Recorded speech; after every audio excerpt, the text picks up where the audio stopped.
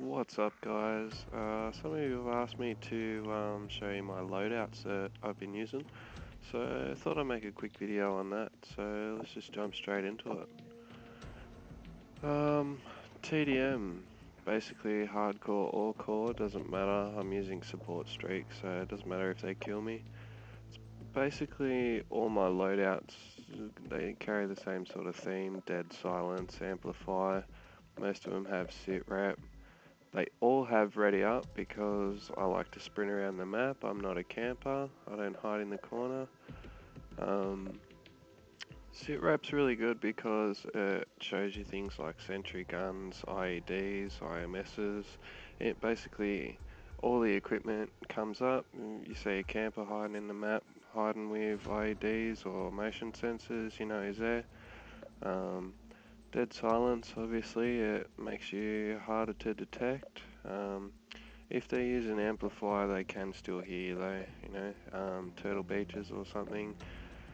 Um, you basically, you always want to use sleight of hand if you can, just makes that reload time a lot less. Um, you know, if you're in a gunfight or something and you got to stop to reload and, well, it could be the, the savior between life and death. Um, Ripper, basically the same. I've just switched out, um, what was it, Blind Eye for Marathon. Um, Vector. I'm just trying to show you ones that I really use. The Helo Pilot, I use that a lot, but this is one of my favorites. Um, I, have switched out Blind Eye for Hardline, just makes that one less kill to get. Um, and with the Vector, if you're running on core with the silencer, you, you tend to run out of ammo pretty quick. So um, my gold knife and guns.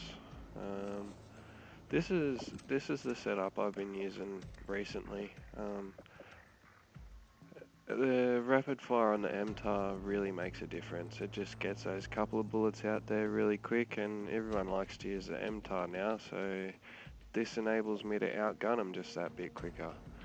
Now, uh, if everyone's been watching Drift0r, he um, he did a video about how um, the silencer hit markers seem to be registering a bit quicker, and it's kind of true, so give it a try. Um, always got the foregrip on there though for the recoil. Um, so the perks pretty much the same as what they were before, except I need the extra attachment, so that's why that's in there. Um, strike packages. If you take off the the third kill slot, um, it, it gives you the bonus perks at 8 instead of 11, I think it is. Or uh, actually, that changes depending on what perks you use, the, um, the, the, value of it. Um, but yeah, always take that third one off and you'll get three, bon or however many bonus ones you put in there earlier. Just uh, makes sense anyway. Um, anti-camper, this is a big one. People camp everywhere and uh, they, they tend to camp with thermal sights or something, so I tend to go with incog. Always dead silence and amplify. Campers like to hide with IEDs, IMSs, things like that. Using sit rep you're going to be able to see it. Um, always going to have to have either a tactical or a lethal. It doesn't really matter which one. You can use the 9 bang, fully charge it for an EMP. Um, I like the sticky bombs though. I like a bit of a, a um, you know, you can get it in there and stick it to them. um, tracker finder, that's a big one too. You know, um, not everyone uses incog because it costs three points. So um, they're, they're pretty much always gonna gonna show up on the tracker sight. Um, the USR, I'm a big fan of the sniping in this game. The the code is really good for uh, quick scoping. Um, however, if you're in core, you're gonna need to have chrome um, barrels or um, FMJ armor piercing rounds. It just you need you need that bit of extra damage in core. Um, I find getting a lot of hit markers when I was doing the no attachments.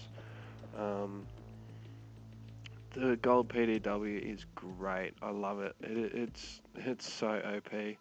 Um, perks pretty, well, yeah, we're getting a little bit different here, but this is a specialty class. Sniping, it's, um, you, you're not running and gunning, you, you've got a sniper rifle and a bolt action at that, so, um, ready up because I, I need that couple of quick seconds after the sprint out time.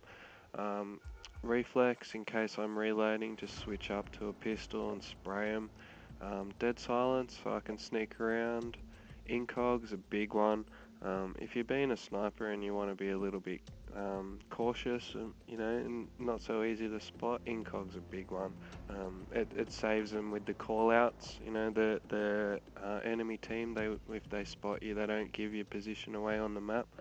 Um, focus obviously reduces sway, but where where I use this perk comes into an advantage is when someone's shooting you, you got that couple of seconds to get a shot off before you're dead, so you do have a chance to kill them first, and that's when you get the oh what the fuck, yeah, I love that. Um, what's another one of my favorites? Um. Yeah, that's pretty much it. The Ripper, I, I used to love this class as it had Marathon on it, but I'm not so much anymore. I've gone to more towards the um, the MTAR and the USR. They're, they're two of my favorites at the moment. So, um, hope this video was a bit of help to you, and um, get back to me if you need to know anything more. Thanks.